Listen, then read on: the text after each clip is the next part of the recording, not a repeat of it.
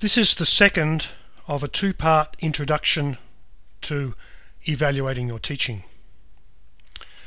In this section I want to zero in on how we might gather evidence to evaluate our own teaching. To get started with this I'd like to suggest you do a little exercise.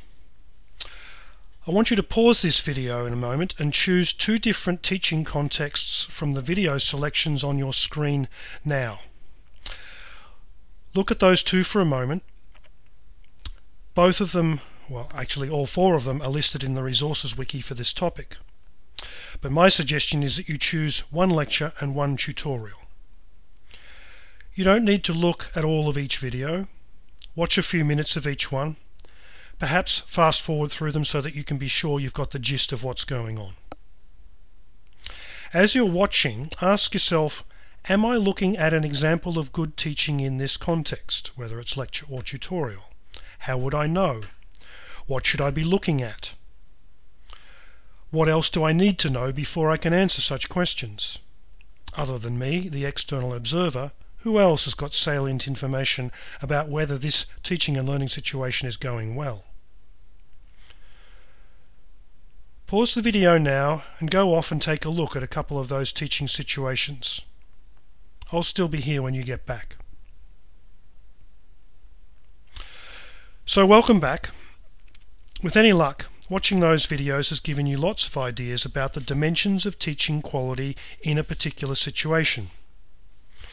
You probably thought about things like presentational techniques and how well they were executed. You might well have asked yourself about whether the video camera's viewpoint is sufficient to make a judgment about such criteria. Hopefully you will also have thought about needing to know things like where in the course this session fits, the intended learning outcomes for the session itself and for the larger course within which it sits. What's the relevance of this session to any high stakes assessments that students are required to take? And so on. In other words, even if one is evaluating a relatively simple and short teaching session, it's crucial to know about the surrounding context and it's absolutely imperative to have a clear and explicit focus on the particular dimensions of quality that are being evaluated. Achieving this clarity and explicitness of focus really comes down to crafting good evaluation questions. The better and more specific your questions, the easier it will be to determine how to gather evidence and to know when you're in a position to answer the questions, or in other words, to draw conclusions. Frequently what I and my colleagues do is help to help us is to use an evaluation matrix like the one you see on your screen. This one's an example of a draft matrix we used to help plan the evaluation of some new online courses. Down the left hand side you have the core evaluation questions.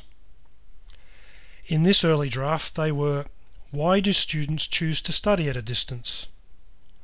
What is the student experience of distance learning in the school? What is the staff experience of distance learning in the school? How can we improve support for distance learners? How can we improve staff online tutoring skills? Across the top, each column represents a different data collection method. In this example, going from left to right, the data collection methods that are anticipated to be used at this stage in the design of the evaluation were student, student feedback from end of module questionnaires, a survey of both students and staff on the courses, a further separate staff survey, a staff focus group, and documents produced for annual program review by the course team.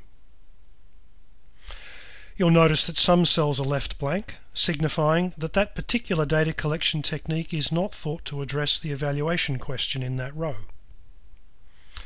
While in other cells there are even more specific questions that have been developed to signify in more detail the purpose and the relationship of that data collection technique to its associated evaluation question.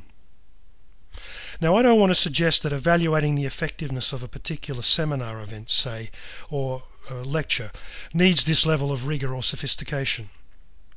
But I most certainly do want to suggest that good evaluation, whether we're talking about individual reflective practice or larger scale systematic course evaluation, relies on the formulation of specific evaluative questions. In part one, I reminded you of Brookfield's four critically reflective lenses and the importance of seeking multiple sources of evidence. The Hounsell chapter listed in the Resources Wiki for this topic is very good on this, particularly in providing some detail about ways of capturing data. On this slide you can see the most commonly used sources of data in educational evaluation. Surveys and questionnaires, interviews and focus groups are very common. So too is the use of student performance data and artifacts of student work, such as online discussions or their assignment work. But don't forget about the huge variety of everyday resources that can be drawn on, including some informal things like common room discussions, impromptu conversations, and some of the variety of things that have been mentioned by tutors and recorded on this slide.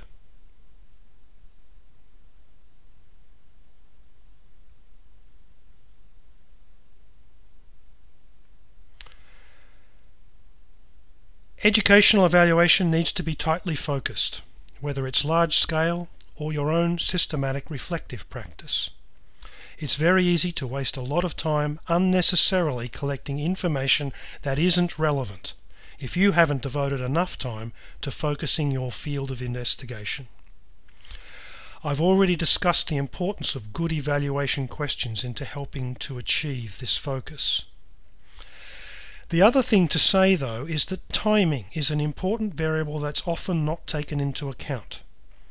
To state the obvious, the actors within the educational context, whether they be students, tutors or administrative staff, will have different perceptions about how well things are going and what's important, depending upon what's going on in the course and where in the course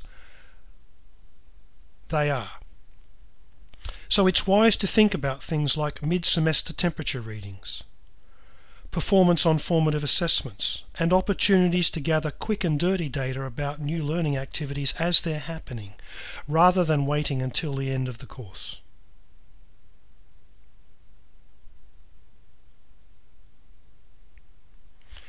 If you have time, it's worth taking a look at a case study of an educational evaluation. This TESTA project case study is quite a good example. It's short to read and it illustrates things like the use of multiple sources of evidence and the surprising things that one can learn about how to improve a course that on the surface seems to be going quite well.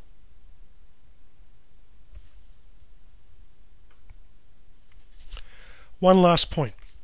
It should be obvious, but it's important to critically evaluate one's evaluation design. We should always be asking, is the focus sufficiently sharp? Have I identified the most important sources of evidence? Are these sources of evidence sufficiently persuasive? Is there something else I should be looking at?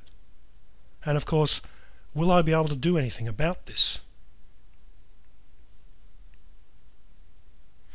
So to conclude, you should try only to gather information that is useful and that you intend to use.